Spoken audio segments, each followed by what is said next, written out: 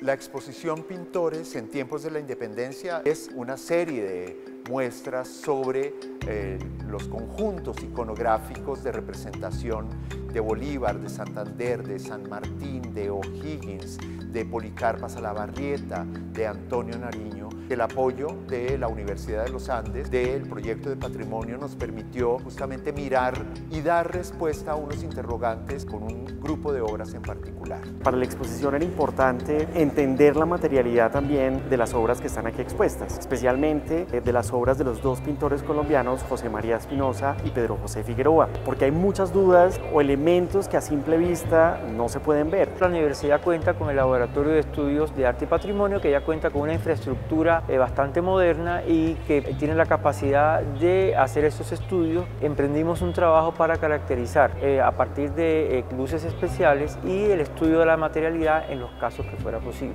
10 obras de Pedro José Figueroa y unas 8 obras de José María Espinosa. Ahora, estos métodos en principio utilizan diferentes tipos de luz, eh, como la luz infrarroja o los rayos X o la luz ultravioleta, para revelar cosas de las pinturas que están o por debajo de la superficie de la pintura o en la superficie de la pintura y que no pueden ser observadas eh, a simple vista. Entonces, la información que dan permite, entre otras cosas, conocer si las obras en algún momento han sido restauradas, intervenidas, si han tenido repintes, transformaciones o cambios, lo cual es un elemento fundamental como punto de partida para poder interpretar o analizar la imagen. Por otro lado, eh, la reflectografía de infrarrojos, como se llama esa técnica, nos permite ver elementos o detalles que están por debajo de la superficie. En este caso es muy fácil entender, por ejemplo, los pentimenti, es decir, los arrepentimientos que tienen todos los pintores, las correcciones que hacen, pero también empezar a trazar patrones con relación a la forma en cómo se construye el dibujo en algunas pinturas. Y en esto, pues es una herramienta fundamental para poder realizar atribuciones y dataciones también.